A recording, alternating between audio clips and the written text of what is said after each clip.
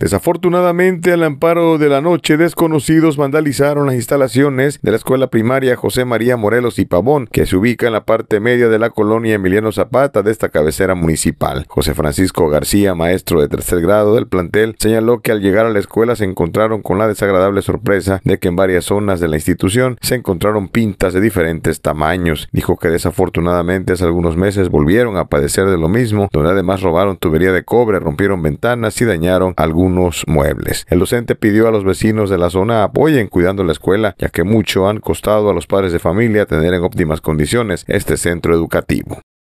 Mire, normalmente tenemos años con el mismo problema. Recurrentemente se nos han estado metiendo a la escuela. Hemos dado parte a las autoridades.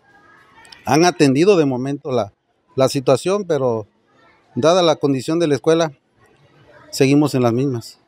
Creo que el día de, en esta ocasión, este, nos estamos dando cuenta que nuevamente han vandalizado la escuela y pues vamos a buscar nuevas acciones que, realizar para tratar de solucionar esta problemática. Obviamente esto es un daño pues a un patrimonio, eh, pero en realidad a la, colonia, ¿no? Porque pues de aquí han salido muchas cooperaciones, ha habido participación de, de los padres de familia y pues vuelven a afectar esta cuestión. ¿no?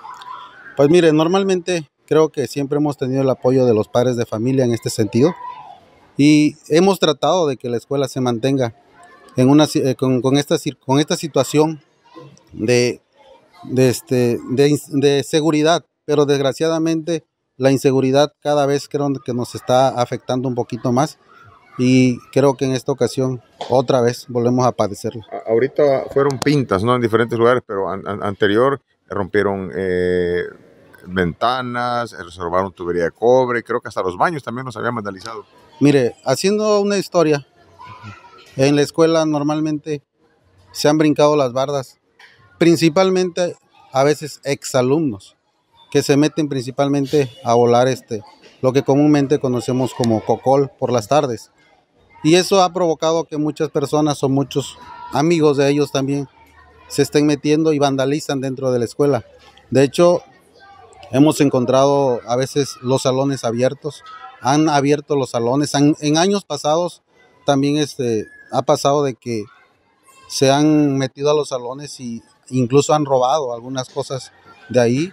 Al maestro de educación física también lo han afectado, tratan de sacar su material, incluso los balones, por tratar de sacarlo, los ponchan. Pero es recurrente siempre el mismo daño. ¿Qué llamado a los padres de familia? Pues ahora sí que queremos invitar a los padres de familia que estén al pendiente. Pues ahora sí que esta institución forma parte de su colonia. Y pues la verdad quisiéramos que se mantuviera con una seguridad.